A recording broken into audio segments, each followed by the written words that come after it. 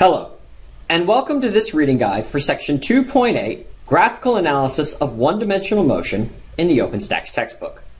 The chapter begins with a discussion on slopes and general relationships of linear graphs.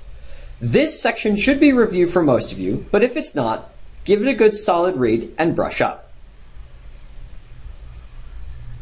The section then moves on to a discussion of motion with constant velocity, zero acceleration. That's what is mostly discussed on page 70 here. Make sure you understand all of the different features in this figure 2.47.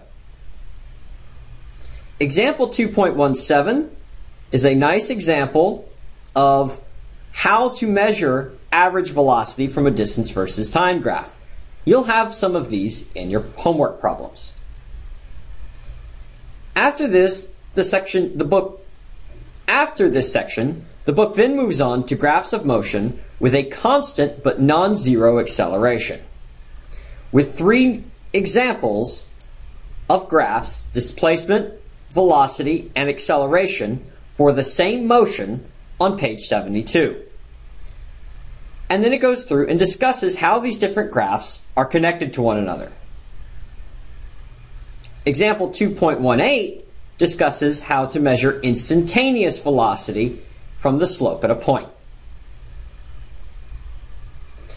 And we see that the slope of a position versus